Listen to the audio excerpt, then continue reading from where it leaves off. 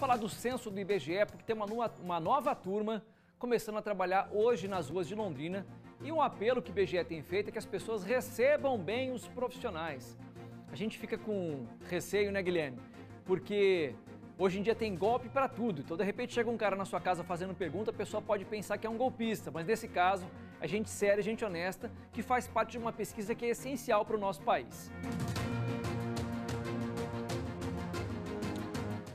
Muito essencial, Parra. O censo, inclusive, deveria ter sido realizado lá em 2020, mas por conta da pandemia de coronavírus, os trabalhos foram adiados e começaram a ser realizados em todo o Brasil no início do mês de agosto. No primeiro momento, cerca de 350 recenseadores foram às ruas dar início a esse trabalho tão importante e nesta semana, nos próximos dias, mais 130 profissionais vão estar nas ruas reforçando esse trabalho que é tão importante. Eu tenho aqui ao meu lado o Fábio Fujimoto, que é diretor do IBGE aqui em Londrina, acompanha esse trabalho do censo aqui na cidade. Fabio Parra estava comentando, né? É, o recenseador ele precisa ser bem recebido, precisa é, colaborar, é, é a, a, população precisa colaborar com esse profissional, porque esse questionário que está sendo feito ele vai editar os rumos do país nos próximos anos, né? Boa tarde. Oi, boa tarde. Então, exatamente, né? A população, né, tem que se conscientizar que essas informações, elas são muito importantes para o planejamento público e privado. Então, repasses do governo federal para os municípios, ou mesmo planejamento, ferramentas de planejamento, todos estão baseados nos dados do censo demográfico. Então, por isso que a população, no caso, tem que colaborar, ajudar né, a gente fazer é, é esse levantamento para realmente poder atualizar as informações, principalmente nessa época né, de, de crise econômica, no caso. Né, então, a gente levantar realmente como que está a nossa situação socioeconômica para poder planejar melhor né, os passos futuros. O, o, trabalho de recenseamento teve início, como eu disse, então, no início do mês de agosto. Até o momento, de acordo com o Fábio, cerca de 18% dos 200 mil domicílios aqui de Londrina foram visitados pelos profissionais. E o prazo inicial, Fábio, era concluir o trabalho até o final de outubro. Ele se mantém? Isso, a gente já tendo, no caso, né, essa previsão né, da, das contratações aqui para os municípios, principalmente assim, grandes centros urbanos, tem essa essa característica né, de uma rotação muito alta de, de, trabalho. Então a gente já prevendo né, essa, essa característica, a gente já fez né, essas contratações, já iniciamos o trabalho e vamos fazer a complementação agora para que a gente consiga, né, até o final de outubro, concluir esse trabalho do levantamento do censo. Gustavo, volto, volto contigo. Eu acredito que você tem uma pergunta, né? Tenho sim, Guilherme. É, para a gente poder informar as pessoas que estão em casa em como receber esse agente, como é que eles vão estar trajados? Qual que vai ser a identificação que ele vai ter para evitar que alguém de repente queira passar um golpe, tentar tomar dinheiro das pessoas, porque infelizmente tem oportunista para tudo. Muito interessante você falar nisso, Parra, porque esse traje que o Fábio tá é justamente o traje do recenseador. É um colete do IBGE, tem aqui a logo do, da entidade, o telefone, ó, 0800 721 8181 a gente tem também aqui a devida identificação com a foto do Fábio, a função, número da matrícula. O boné também é muito importante. Vou pedir para. Isso, obrigado, Fábio. Censo 2020, boné azul com a aba amarela.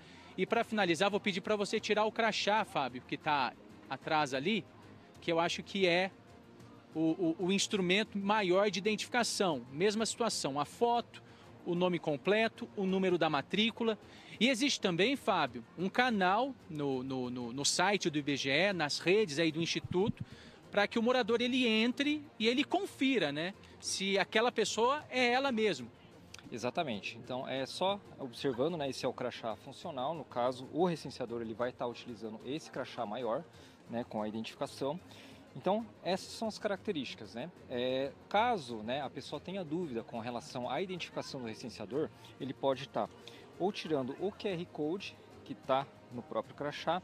Com o celular ali, aproxima a câmera, já, já, já vai conseguir fazer a conferência. Exatamente. Então ele vai estar direcionando ao site que é o respondendo.ibge.gov.br e aí com o número da matrícula e o nome, ele já verifica, no caso, a identidade desse recenseador para verificar se é do, do IBGE mesmo ou não.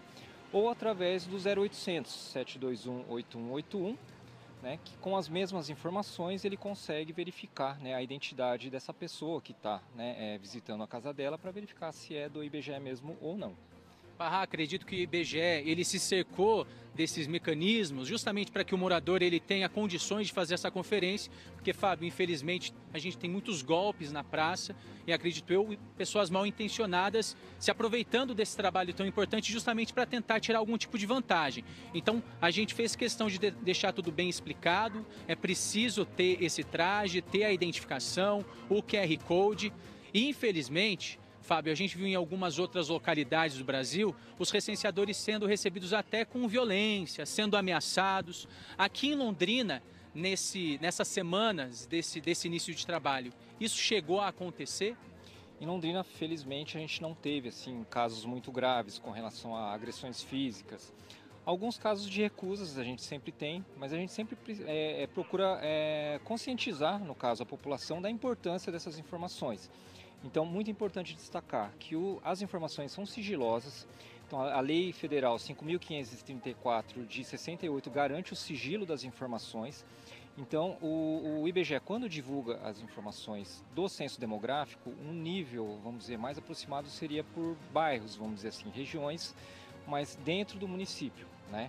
Nunca é divulgado por rua, por quadras, por faces, justamente para preservar a identidade, no caso dos informantes. Então, isso precisa ficar bem claro, né, que a pessoa está informando aquilo, mas ela não é divulgada, no caso, individualmente, sim, no caso, um grupo, né, é, uma região, por regiões. Aí, Fábio Fujimoto, representante do IBGE aqui em Londrina, divulgando aí, né, esse reforço nas equipes de recenseadores e repassando essa orientação tão importante, né, para a população.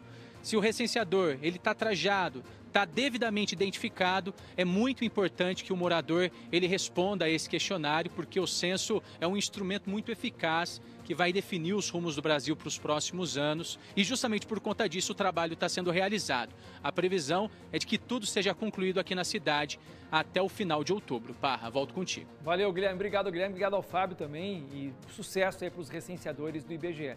Só queria dizer uma coisa aqui. Pode fechar isso, obrigado, Diegão.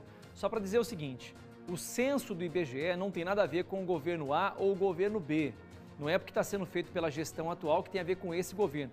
O censo do IBGE ele traz números importantes para políticas públicas no país, independentemente do governo que esteja no poder. Então responda, não tem nada a ver com pesquisa eleitoral isso não, tá? Responda de forma clara, de forma precisa.